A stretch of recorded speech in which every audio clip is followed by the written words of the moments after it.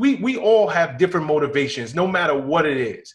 Now you have to become resourceful. You have to dig deep. You have to figure out, okay, I know what my end goal is. How do I reach it? Right. So in your case, you start with these vending machines. Do you start with huge vending machines or do you start with the smaller ones?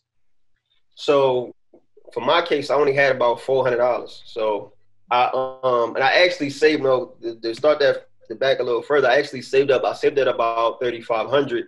Um, and then I, I purchased my first machine. I found the company that um that gave you it sold you a machine with the location. Okay. So they, found, they found me a, a hotel downtown in Philly, and they sold me a machine to go in there. So I'm like, great, like sounds like a good spot. But then when I went to go actually visit the location, I'm looking around like, you know, the guy's telling me where you want the machine. I'm looking like ain't no vending machine gonna fit right there. So I called the company and they like, well, we've been doing this for 20 years. We're telling you it's going to fit. I'm like, okay. And then they came all the way from Maryland, I think it was, which was an hour, some two hours maybe away. Um, got the machine there, it didn't fit. So that was kind of my first whack at it. Uh, off of that, I just got my money back. And then I tried again. I approached the rec center, um, another rec center that I, I, used to go to. They didn't have a machine. Everybody would have to always run to the corner store, which is like four or five blocks away, which is far from where I, you know, from where I stay in Philly. You know, we got corner stores almost on every corner. So um, I approached them about having me place a machine in there but then they ended up putting a machine in there themselves. Like when they heard my idea, they was like, "Oh, well, we could just put one in there." Like so, they they kind of staked me on that. Um, this the same company?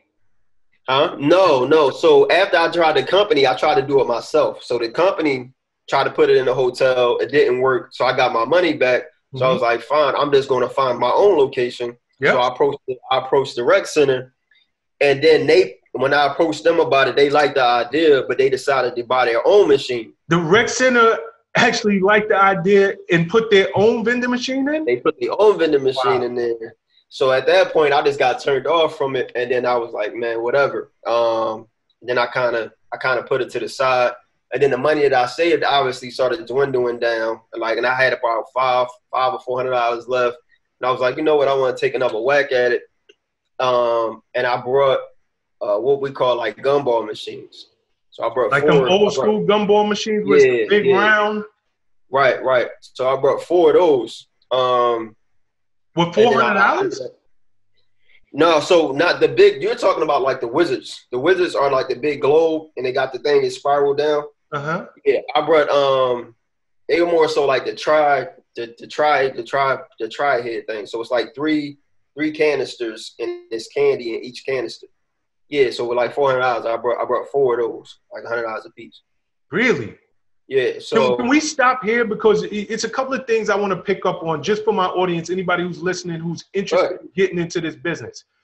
You spoke about getting your first machine, right? From a uh-huh. company that that you can buy it from. They also give you a location.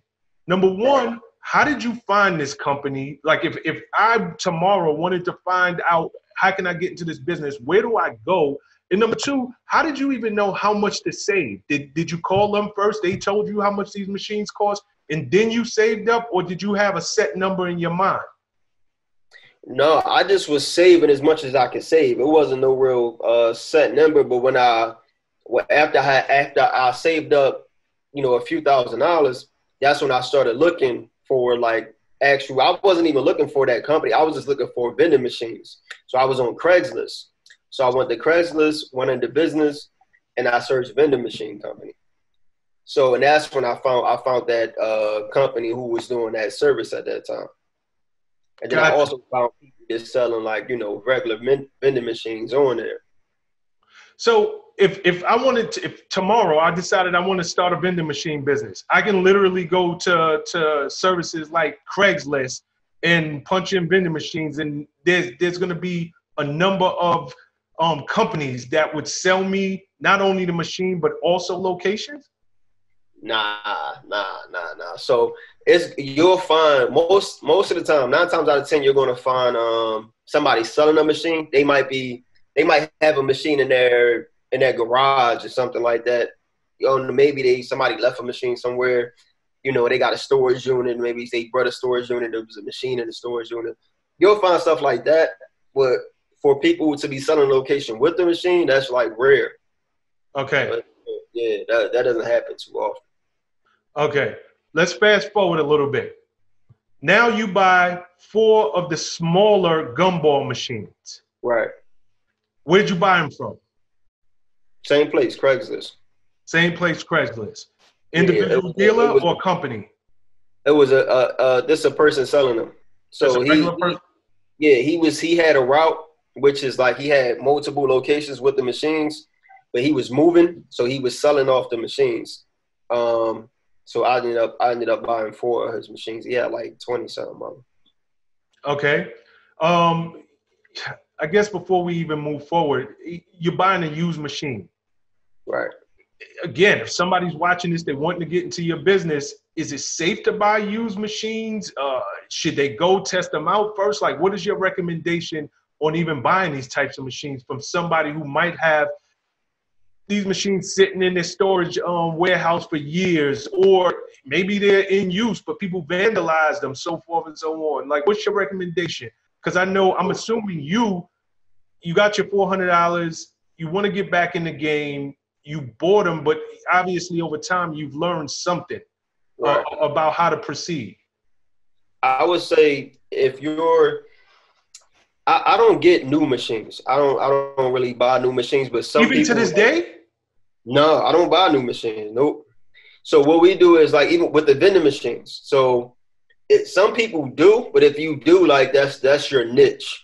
Like so, if that's your niche, that's like you, you're going to use that as your pitch when you're approaching these locations and you're trying to get them to accept your service, right? So some people just use the newest equipment. Hey, just say, hey, we got the newest equipment, top of the line whatever, whatever, and that's how they approach it. I, I, I use used machines and I'll just put upgrades on them. So I might get a machine for a thousand dollars, and then I'll take um a couple extra dollars and put a card reader on there, add some lights, make sure the paint is clean, and then it's just going to look just as good as the the new machine, and it's going to fun- as long as it's functioning the same, it doesn't really you know make a difference. As long as it's working and, and collecting money and delivering my products, it's it's cool. Like so. That's such great information because I'm th- obviously technology changes.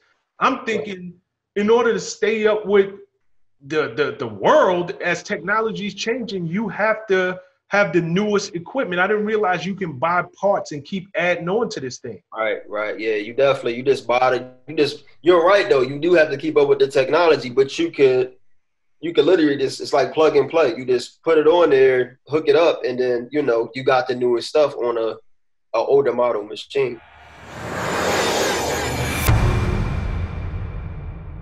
What's up, guys? Thanks for sticking with me to the end of the video. Truly appreciate you. If you like anything you heard here today, go ahead and hit that subscribe button. And if you know anybody that can benefit from this message, feel free to share. Peace and love.